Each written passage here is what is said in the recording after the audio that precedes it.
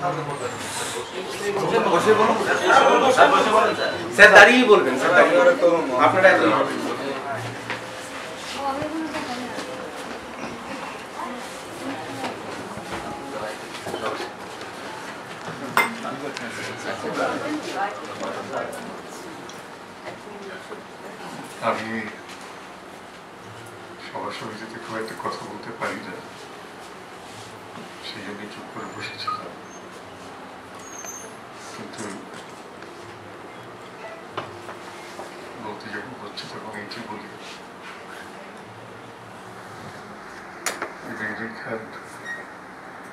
আমার থেকে বয়সে অনেক ছোট, অনেক অনেক ছোট। কিন্তু আমি তাকে প্রণম্য বলে ইতিহাসে এরকম মানুষ মাঝে মাঝে আসেন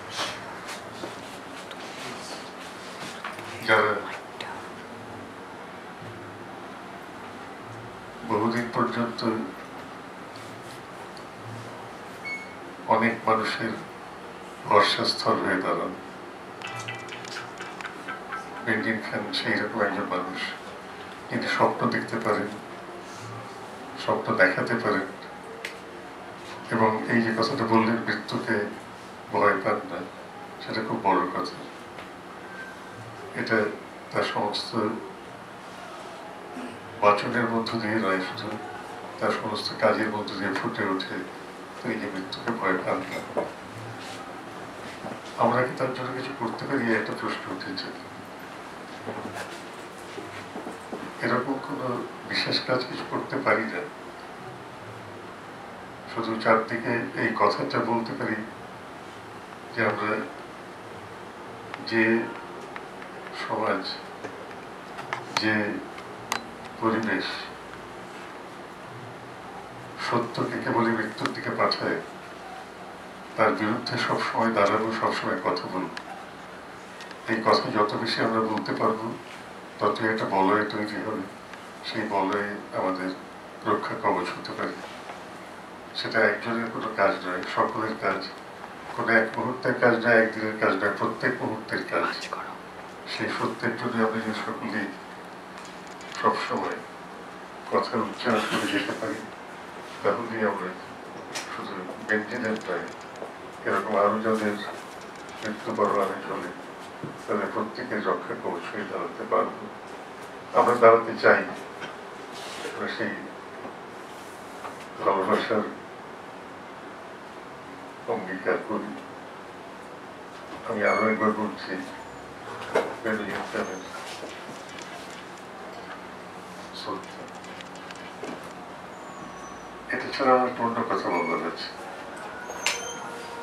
বেঞ্জির বিষয় নয়। সেটা একটা ক্ষমা চাইবার বিষয়। এই সভা শুরু হয়েছে দেরিতে। সুভাষিস বলেছে যে অনেকটা দেরিতে সভা শুরু হয়েছে। কারণ আমার আসতে দেরি হয়েছে। আমি সুভাষিসকে সবসময় বলি যে কোনো সভা নির্দিষ্ট সময়ে শুরু করবে তাহলে সেটা অন্যায় হয় আজকে সেই অন্যায়টা যে ঘটবে সেটা আমারই জন্য কিন্তু কি জন্য ঘটবে সেটা আমার একটু ব্যাখ্যা করা দরকার এখানে বাংলাদেশের একটা বই মেলা হচ্ছে চার দিন আগে একজন আমাকে বললেন কলকাতার লোক তিনি বাংলাদেশের বই মেলা গেলে একটু ভালো হয় কবে তারিখটা শুনলাম। কোন সময়? পাঁচটার সময়। এবং আমি সাড়ে পাঁচটার সময় ওখানে একটা সভা আছে, আমি যেতে পারব না। পাঁচটার সময় একটু থেকে চলে আসবে। আমি দেখলাম হ্যাঁ হতেই পারে। পাঁচটায় যদি আমি পৌঁছে যাই। তাহলে সাড়ে পাঁচটা এখানে আসতে অসুবিধা নেই, আমি ঘুরে চলে আসব। আমি ঠিক পাঁচটার সময় গিয়ে দেখলাম আয়োজন চলছে সবার শুরু হওয়ার লক্ষণ নেই তার চেয়েও ভয়ের কথা মঞ্চের উপর বড় বড় করে লেখা আছে যে আমি ওখানে থাকব। এই উদ্বোধন সময় থাকবে এরকম কোনো কথাই ছিল না। মেলাতে দেখবোই কথা ছিল। বাধ্য তো সেখানে বসতে হলো। এবং কিছুক্ষণ পর সেখান থেকে উঠে আসতে হলো। একই দিনে আমার দুটো অন্যায় ঘটে গেল। একটা সবাই বসে তার কিছুক্ষণ থেকে চলে আসতে হলো। এবং একটা সবাই যেখানে আসবার কথা সাড়ে দশটায় সেখানে একটু দেরিতে আসতে হলো এই দুটো কারণে দু জায়গায় আমি ক্ষমা প্রার্থী আর একটা কথা হলো, আমি সবার সমিতিতে আসি না বড় একটা কথা বলতে, কিন্তু আসতে হয় এই মোরক উন্মোচন করতে, কিংবা কিছু উদ্বোধন করতে। আমি ভেবেছিলাম সেটা সহজ কাজ কথা না বলে মোরক করে চলে যাব কিংবা উদ্বোধন করে চলে যাব কিন্তু দেখছি আজকাল সেটা খুব কঠিন কাজ। কথা বলার কঠিন। কারণ এমন করে তৈরি হয়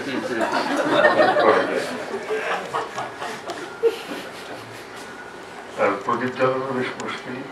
কিছুতেই না। পাঁচ মিনিট লাগে মোরগ খুলতে পাঁচ মিনিট লাগে।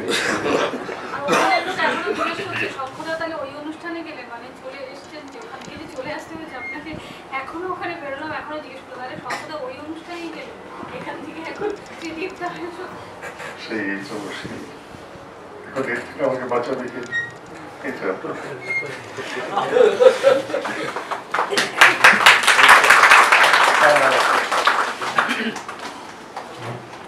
বিজ্ঞানের অনেক প্রশস্তি করলেন কিন্তু একটি বকুনি দেব। কেমন সে আমাকে বৃদ্ধ বলেছে। দাদা কিন্তু চির তরুণ। ভুল করেছি।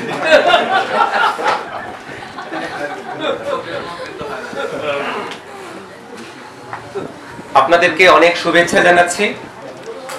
আমাদের বাংলা বাংলাদেশ সন্ধ্যা দু আজ এখানেই শেষ হলো। শুভরাত্রি।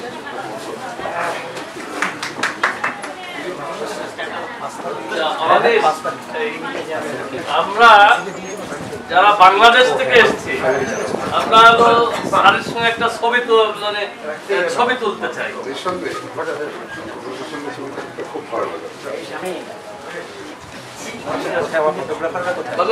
সবাই। বাংলাদেশে যারা আছে